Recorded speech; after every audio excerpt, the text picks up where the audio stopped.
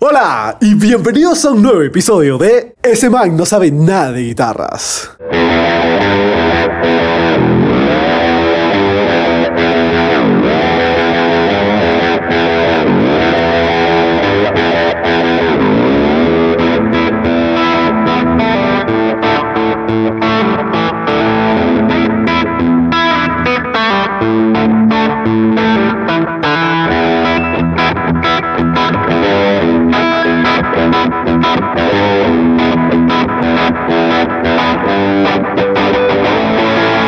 Pues vamos directo al punto. Porque me trajeron este Squire Jazzmaster Affinity que está guapísima ahí. Creyeron que no lo iba a hacer, ¿no? Siempre lo voy a hacer, muéranse. Pero bueno, vamos.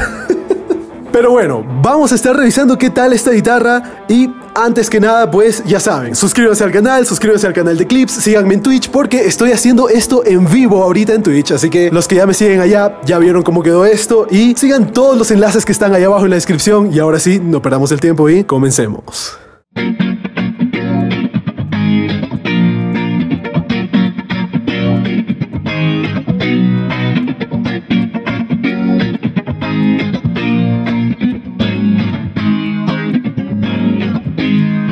Bueno, lo que vamos a hacer ahorita es darle amor a esta guitarra que fue la razón principal por la que me trajeron, así que vamos a sacar las cuerdas, a darle amor a ese diapasón y trastes y vamos a ver todo esto, vamos a ver qué tal suena, cómo está por dentro. El puente, como pueden ver, es tipo Stratocaster, no es tipo Jazzmaster, entonces eso ya es algo un tanto diferente que tal vez algunos dirán, no, ya no es una Jazzmaster o cosas así porque simplemente ya no tiene ese puente que mucha gente adora, pero hay muchos otros que odian ese puente, así que bueno, vamos a calibrar todo esto y quiero revisar cómo es por dentro y todo porque me llama bastante la atención esta serie. Quiero ver qué tal están las Affinities de ahora. He probado una que tiene dos convokers y estaba guapísima, pero esta es la primera de esta serie que me traen ya con los micrófonos tipo Jazzmaster que ya sé que no son P90s, alguna vez les dije P90s para que se entienda un poco mejor, pero la forma en la que funcionan estos micrófonos de Jazzmaster es que tienen que imaginar un single coil estándar, pero aplastado. Entonces, al aplastarlo, esa bobina se va a ir más a los lados. Y ahí tenemos efectivamente un micrófono de Jazzmaster. Un P90 es de un mismo ancho de un single coil con más alambre de cobre, con más bobinado, para tener ese poder bastante característico de un P90. Una salida un poco más fuerte, más gordito y todo eso. En este caso, los micrófonos de Jazzmaster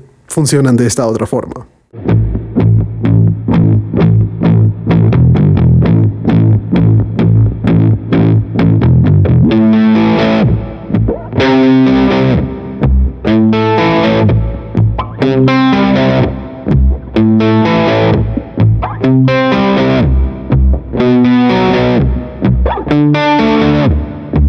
Ustedes ya están escuchando qué tal suena la guitarra. Yo ya quiero escuchar cómo suena, así que sigamos con todo esto. Cierto, olvidé mencionar que el día de hoy no voy a estar usando cuerdas GK porque no hay acá, entonces compré estas Cifuentes, así que vamos a ver qué tal quedan. Y ahora que sacamos las cuerdas, los voy a traer acá para que vean el estado de este diapasón.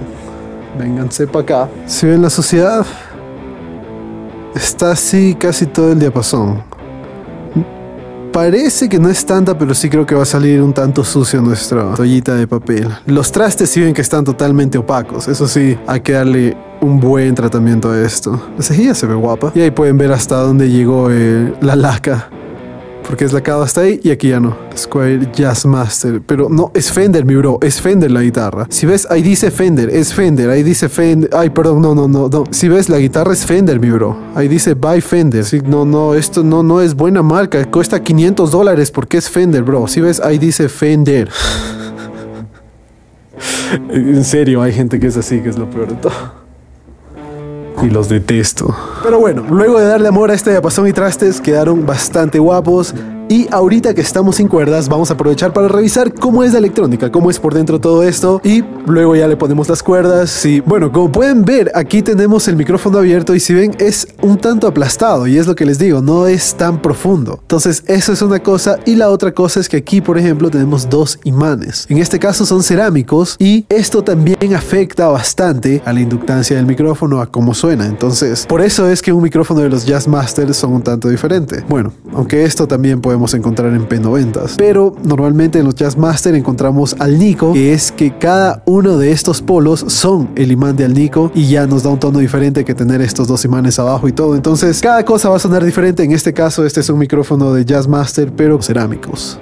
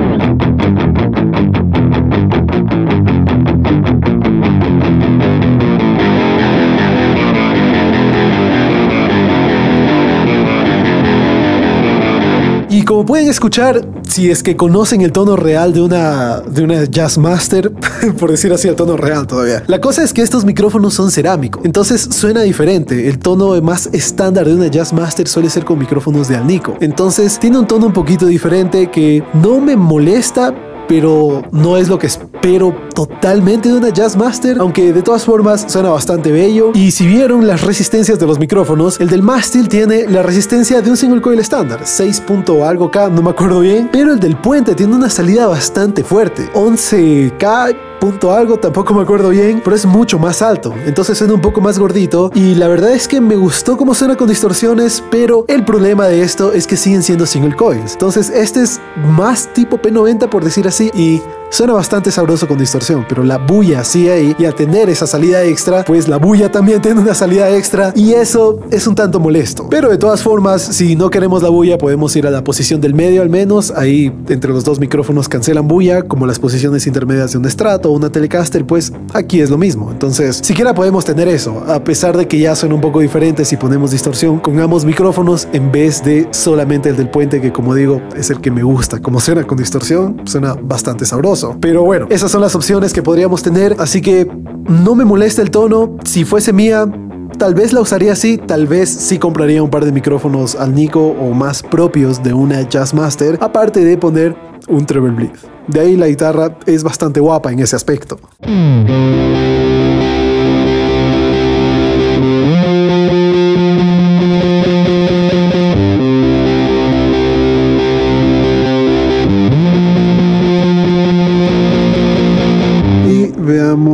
Esta sección de la electrónica solo porque sí. Que se ve bien, es bastante estándar al parecer. Potenciómetros grandes, que uy, grandes, a todo el mundo le gusta grande, ¿no? ¿Qué valor será cada potenciómetro ahora? ¿Me daré el trabajo de revisar o no? Bueno, ¿saben qué? Sí me voy a dar el trabajo porque recuerdo que vi unos pedacitos de plástico que estaban aquí de residuo. Sí creo que logran ver, ¿no? Hay unos pedacitos de plástico. Entonces voy a desmontar esto solo para poder sacar bien el plástico que sí les he enseñado, ¿no? Que es preferible sacar bien todo eso. Voy a aprovechar ahorita que estamos en esto. Ahí está, hemos sacado los plastiquillos y aprovecho eso para revisar de qué valor son los potenciómetros. Ah, son estándar, no son como una Jazz Master que suelen tener de 1 mega y de 100k si no estoy mal. No tienen esos valores extraños aquí. No extraños, pero comúnmente encontrados solo en Jazz Masters. Está B2 y B todavía. Y como siempre el de tono es A, logarítmico. Y tenemos un condensador de 22 nanofaradios, pero eso no, no se lee realmente aquí. Ah, esta es la única cosa que yo detesto de las Jazz Masters, que el selector es así, así y así. A mí me gustaría que sea así y así, no de allá para allá es menos cómodo tenerlo así. Y lo que me cae mal es que hasta el ruteo lo hacen así a que no puedas poner el switch de la otra forma. Desgraciado. Les odio. Maldito Leo Fender. ¿Por qué? ¿Yo qué te hice? Perdón por nacer. Ahí ya pueden ver lo hermoso que quedaron el diapasón y trastes, ahora sí. Se ve guapísimo. Hermoso, hermosillo. Ahora sí, ya bueno.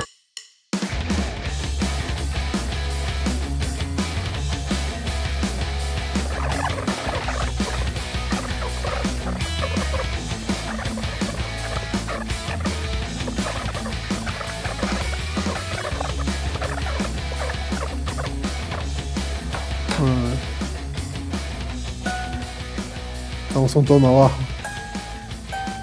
Ah, medio tono.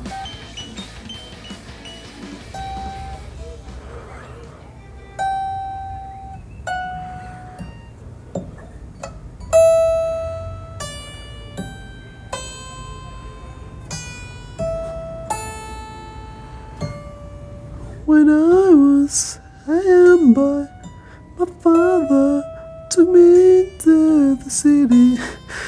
See a marching band. No puedo al mismo tiempo,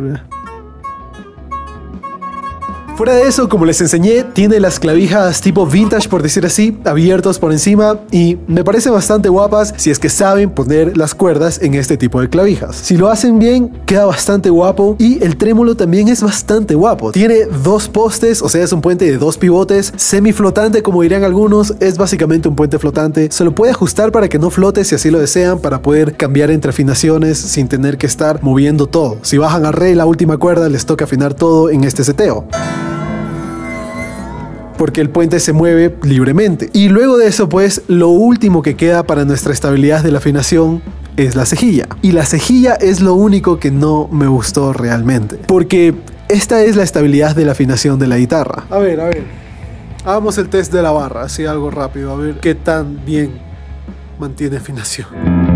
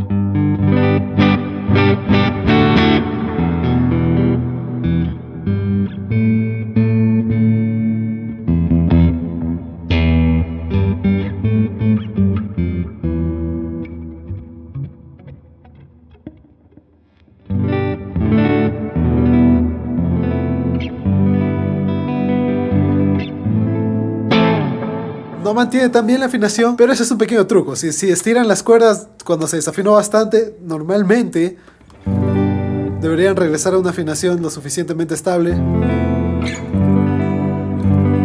para poder terminar con la canción siquiera. se dan cuenta. Y todo eso es por este problemilla. ¿Se oyen? Y esa bullita es porque las cuerdas se están quedando atrapadas en la ranura de la cejilla. Entonces, uh, uh, uh, no van bien, no se deslizan bien a pesar de que ya lubricamos la cejilla. Lo que quiere decir que no está muy bien cortada. Entonces, lo que haría extra aquí es cortar un poquito mejor la cejilla para que las cuerdas se deslicen bien y nuevamente pues lubricar después de haber cortado porque se va todo lo que ya lubricamos. Entonces, hacer eso y quedamos bastante bien.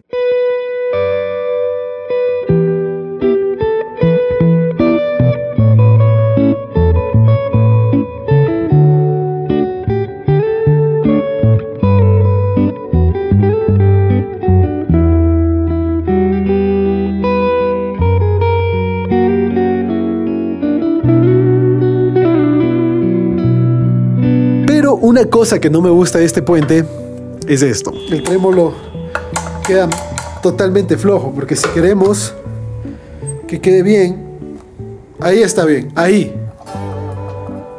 Y ya no podemos forzar más allá porque si no vamos a dañar el bloque, que es de una aleación no tan... que no aguanta muy bien esas cosas, ¿no? Entonces es bastante molesto, al menos de que sean algunas de esas personas que simplemente están mal de la cabeza y les encanta que la barra del trémolo quede así. Entonces, si es así, pues no se hagan problema, a mí no me gusta. Y si quieren tener una barra un poco más estable con eso, porque si lo aprietan de más, pues se puede romper el bloque, pues simplemente pueden meter un pedacito de borrador o un cauchito para que haga un tope antes de que la barra llegue ya hasta el final y ya se pueda quedar un poco mejor, un poco más estable y poder usarla un poco más fácilmente.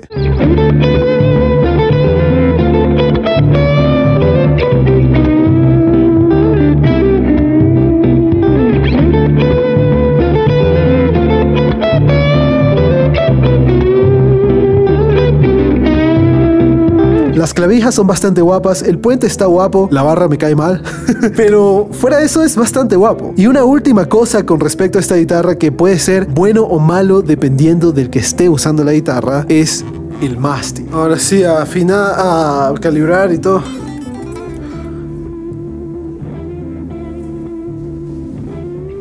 Tiene el mástil gordísimo. Me encanta. Uh, este mástil está masivo.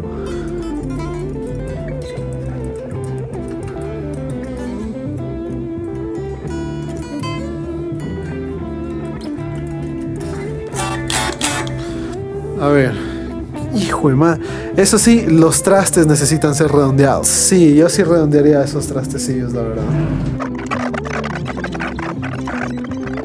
El mástil de esta guitarra es gordito, es bastante gordito, es bastante ancho a los lados, como ancho en profundidad. Entonces, a mí me encanta el mástil, se siente bastante, bastante bien para mi mano, pero como ya les he dicho varias veces, se siente bastante bien para estas manos. Entonces, para esta mano, se siente bastante bien, pero entiendo que para muchos tal vez no vaya a ser lo más cómodo del mundo, así que es mejor si pueden probar la guitarra en persona para ver si se pueden acomodar a ese mástil, pero ya les estoy advirtiendo, este mástil es bien gordito, entonces eso es lo único que puede ser bueno o malo dependiendo de quién lo toca al igual que el tono y otras cosas, pero esto es algo un poco más difícil de cambiar a diferencia de un puente o una cejilla o los micrófonos, ¿no? Entonces, eso deben tener en cuenta y fuera de eso, pues el color específicamente de esta guitarra es bestial, me encanta, este look es guapísimo y bueno, luego de haberle dado amor, pues la guitarra quedó bellísima, ¿no? Así que eso es todo. Espero que les haya gustado este video, que les sirva esta información. Gracias a los bellísimos miembros de la Changuisa Premium, tanto Patreons como miembros del canal por apoyar al canal y ya van a tener más detrás de escenas y todo eso para los miembros de la Changuisa Premium y nada más. Pues ahora sí, ya nos vemos hasta la próxima. Chao.